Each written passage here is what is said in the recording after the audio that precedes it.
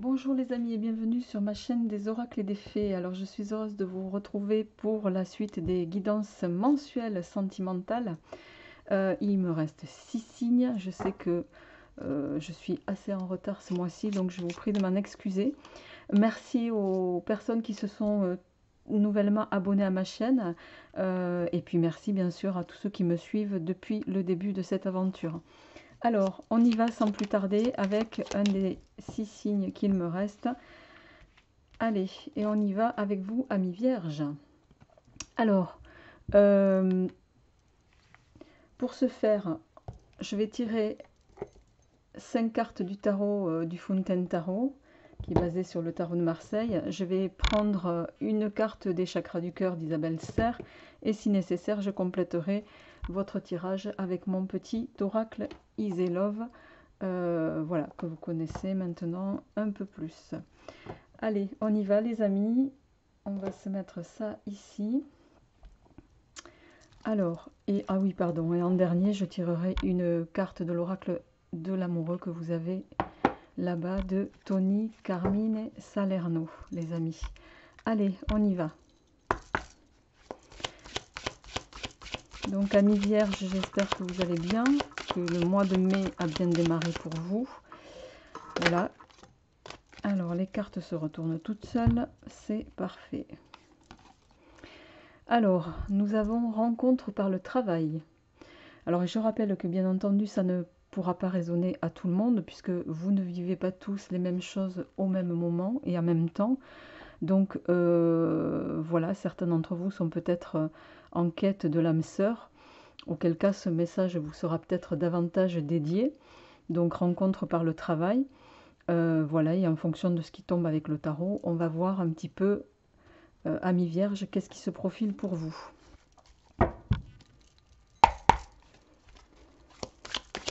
Alors, hop là,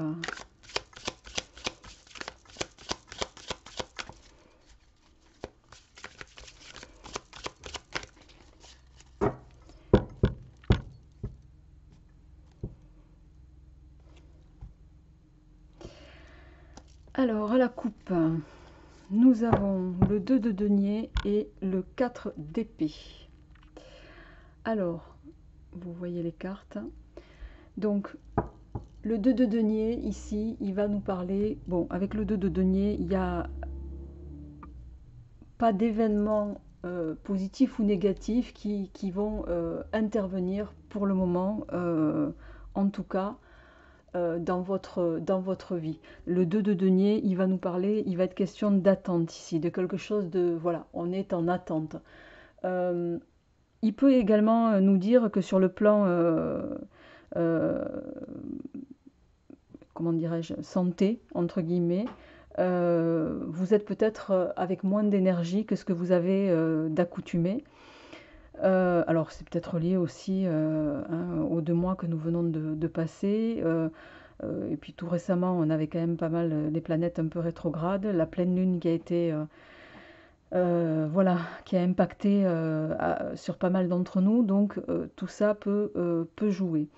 le 2, pour autant, en termes de numérologie, c'est voilà, c'est on se prépare à quelque chose. Il va y avoir une, préparation, je dirais, à l'action, d'accord? Euh, il va être question aussi avec ce, euh, ce 2 de denier de... Comment dirais-je Vous n'êtes pas encore en stade de, de concrétisation de quelque chose, mais on est sur peut-être des promesses, d'accord? Donc on va voir avec le tirage comment ça résonne. Alors, le 4 d'épée, lui, bon, le 4, c'est euh, l'énergie euh, de l'équilibre, de la stabilité. Euh, quoi qu'il en soit, le 4 d'épée, ça va nous parler de peut-être d'idées rationnelles, d'un système de pensée qui permet de comprendre à la fois ben, ce qui vous entoure, euh, donc on pourrait dire le monde. Euh, mais euh, ce 4 d'épée, il va également nous signifier alors, en termes, si on n'était pas dans un tirage sentimental, ça va être une carte de stabilité plutôt professionnelle. avec le 4 d'épée, on est à l'abri des problèmes, des problèmes et des difficultés, je dirais, d'accord? C'est une période qui va être calme et plutôt sécurisante. voilà, donc on va voir, les amis, comment ça s'oriente avec votre tirage.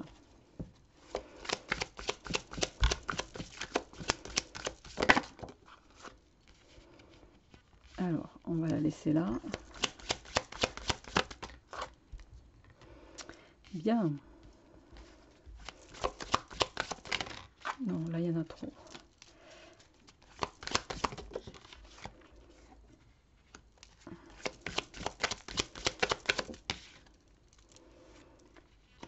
de coupe. Ah, il y en a deux qui sont tombés. Bon, elles sont tombées comme ça. Donc, je vais considérer... Euh, allez. Et en synthèse...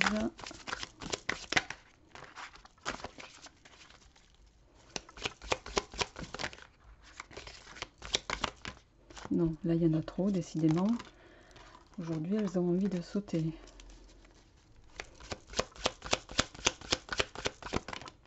Ok. Allez. Alors, en dos de deck, euh, nous avons euh, le cavalier d'épée.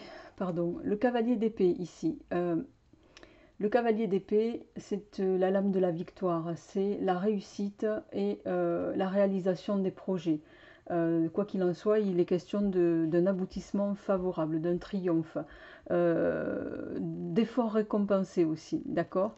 Donc on va voir avec la suite de votre tirage, les amis. Alors, nous avons le 5 de denier inversé, le, le diable, pardon, le diable, oui, le diable, euh, le 5 d'épée, le 10 de coupe, alors le 3 d'épée inversé, je vous montre, le 3 d'épée, nous avons le, cavalier de bâton qui est tombé également inversé. Voilà. Alors, les amis. Et en résultante, vous avez le magicien qui est tombé inversé. On va se le mettre ici, on verra ça tout à l'heure. Bon, on a deux cartes qui sont tombées en plus, enfin deux au niveau de la cinquième. Alors, le 5 de denier, le 5 c'est une, on est dans, au niveau numérologique dans euh, euh, le 5 ça va nous parler d'un nouvel idéal. On est tenté d'aller plus loin avec le 5. Hein. Il y a cette notion de euh, de vouloir aller vers quelque chose d'autre, euh, vers une autre dimension. Euh, le 5 de denier, c'est on va rentrer, comment dirais-je, dans une... dans, une, dans quelque chose de nouveau, mais sans forcément s'en rendre compte. alors, le 5 de denier, c'est également l'accroissement des revenus. Alors, de toute façon, c'est une carte... Euh, c'est une carte qui, dans le tarot de Marseille, est symétrique, donc là, il n'y a pas de sens envers endroit. Euh, ça va nous parler d'accroissement de revenus, d'amélioration de la,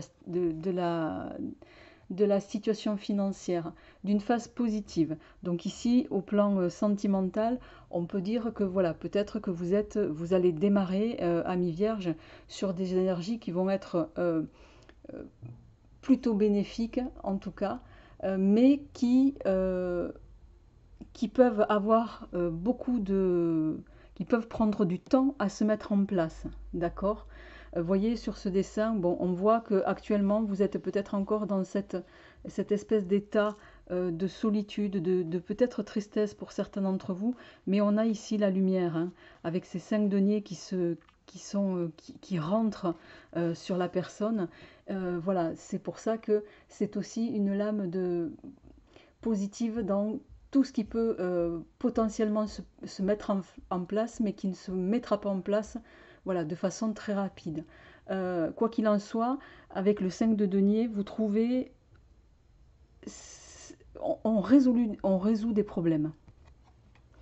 Alors, le diable, ici, bon, le diable, c'est pas forcément une carte, négative. Hein. On est dans l'énergie, dans le degré 5, hein, avec ce, cet arcane 15. Euh, donc, comme je vous l'ai dit tout à l'heure, on est dans l'apparition de quelque chose de nouveau, de nouvel idéal. idéal pardon. Euh, le diable, c'est un peu, bien sûr, c'est la transformation. Hein. c'est comme un pont vers quelque chose d'autre. Euh, mais le diable, il signifie plusieurs choses. Il peut signifier la tentation, il peut signifier euh, euh, la créativité, il peut signifier l'argent aussi, hein, puisque voilà, il n'y a pas une lecture linéaire des lames du tarot, sinon ça se saurait. quoi qu'il en soit, sur le plan sentimental, ça va être la lame de la bonne entente, notamment bonne entente sexuelle dans le couple. Hein. ça peut également marquer le passage d'une relation amicale vers une relation amoureuse pour d'autres. Donc ramenez-le à ce qui vous résonne, les amis. D'accord?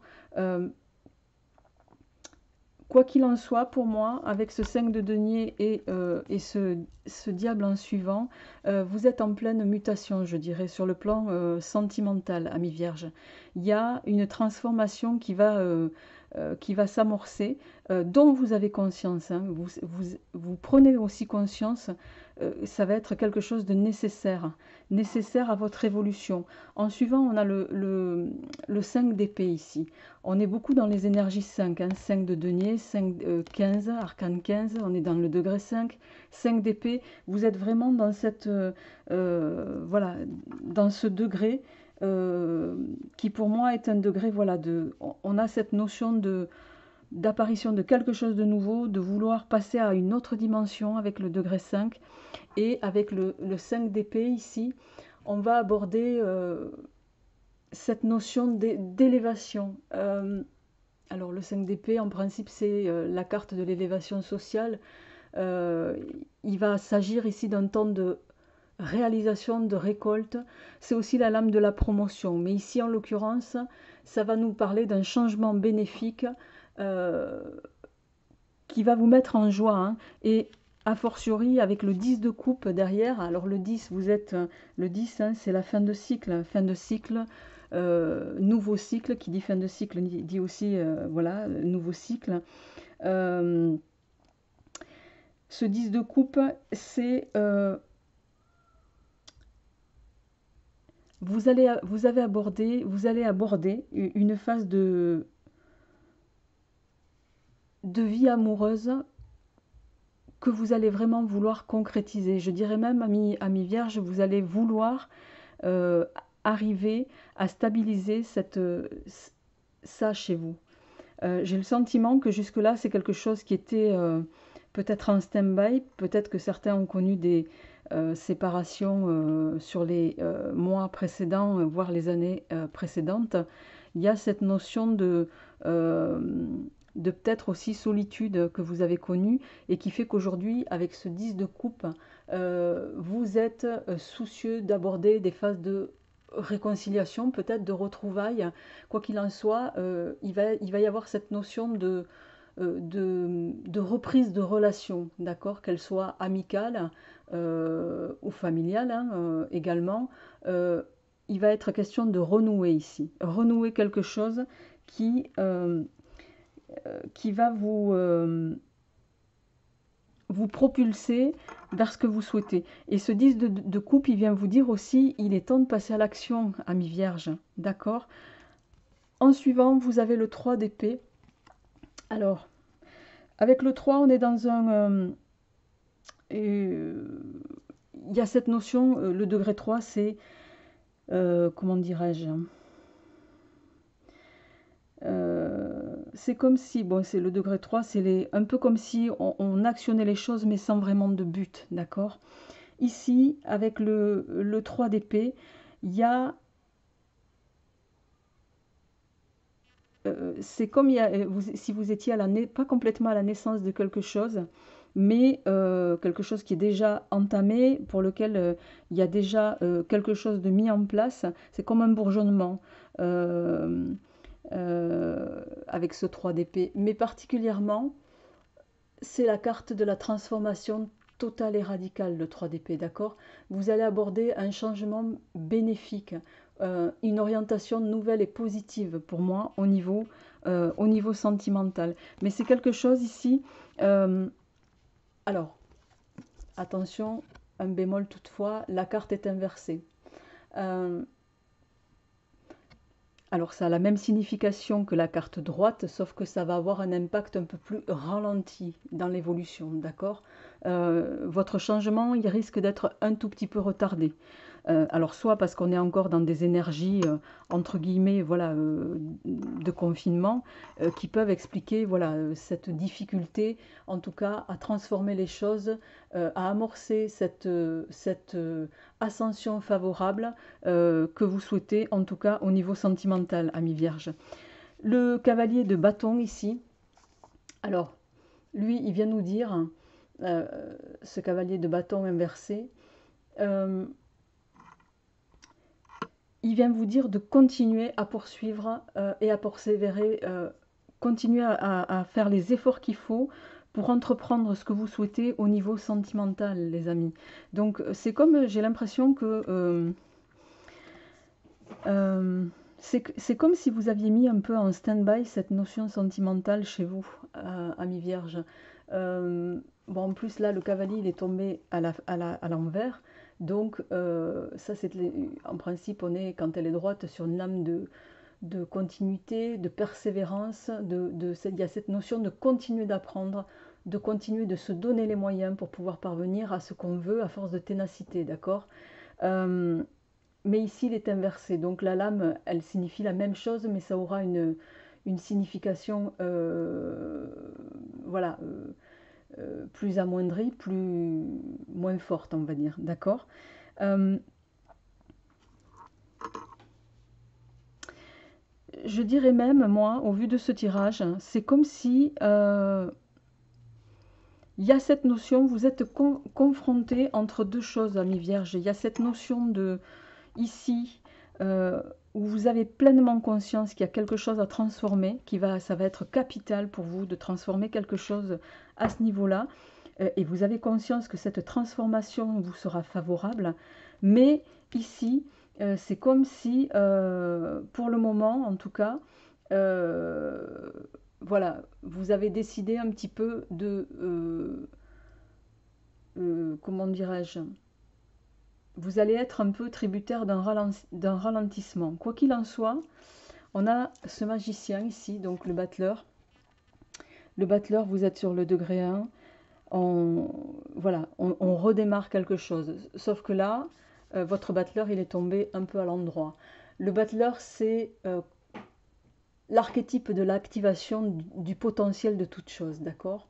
Il va être question, bon, euh, bien sûr, cette carte, elle peut vous représenter également, euh, mais ce battleur, il, y a cette notion d'outil, il y a cette notion de, vos talents, il y a cette notion euh, d'élan, d'accord? Mais ici, il est à l'envers. Donc, c'est comme si on était dans un des ralentissements d'élan, en tout cas, des points de départ qui vont être différé, euh, en tout cas le commencement, le début de quelque chose, euh, et utiliser votre potentiel là-dessus pour pouvoir mettre en place et cibler ce que vous voulez, en l'occurrence, hein, ami vierge, euh, cette rencontre peut-être par le travail.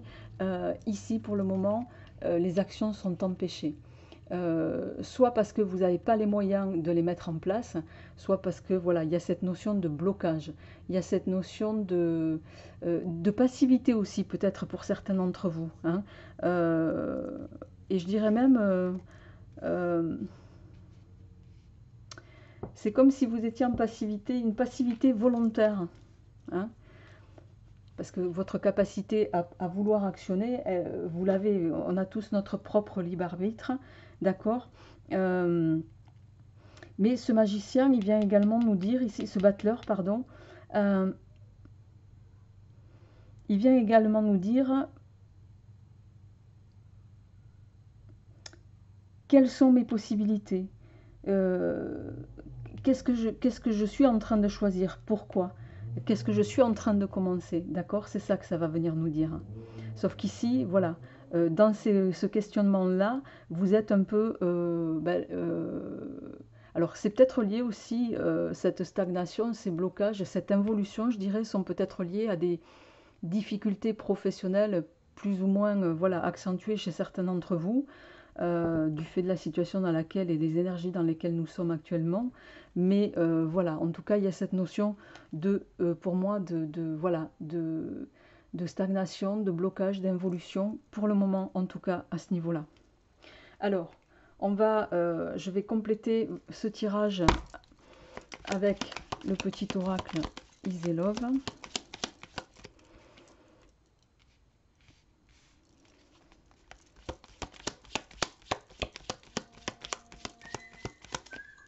Alors, excusez-moi. Alors, excusez-moi pour la petite interruption. Allez, alors. Hop, on a une carte qui a sauté. On a la carte, alors ici, euh, de l'amour. Hein. Euh, il y a cette notion, euh, évidemment, de trouver son autre ici, d'accord? Il y a cette notion, et c'est quelque chose en plus qui vous tient à cœur, hein, ami Vierge, c'est avec cette carte, avec cette carte 74 ici, il y a cette notion de, euh, de, vouloir, en tout cas, parvenir à l'aboutissement d'un amour sincère, d'un amour durable, d'une relation stable, d'accord? Cette carte, voilà, elle va nous parler de ça, les amis. Alors, on a deux cartes qui ont sauté. Donc, on a la chouette et euh, le, la souris. Alors, la souris, euh, alors plutôt la chouette. La chouette, c'est...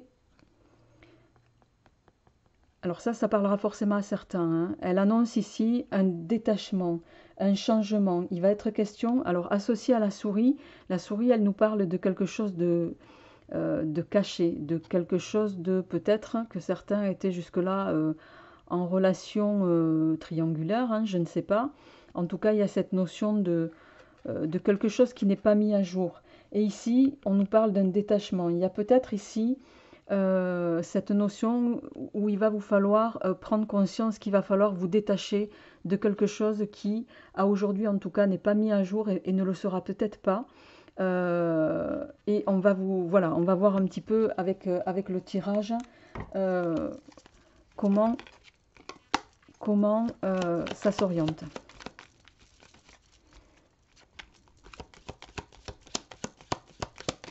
Alors, à la coupe, bon, il y a bien la notion de famille, hein, avec cette notion d'invitation autour.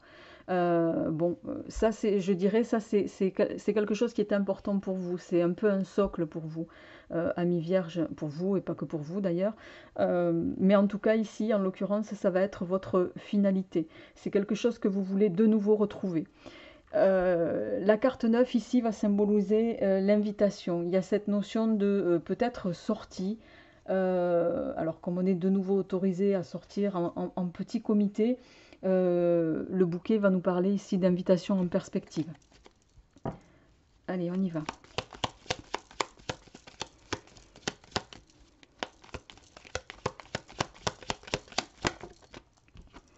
Alors, on a la, protection, l'ange. Il y a cette...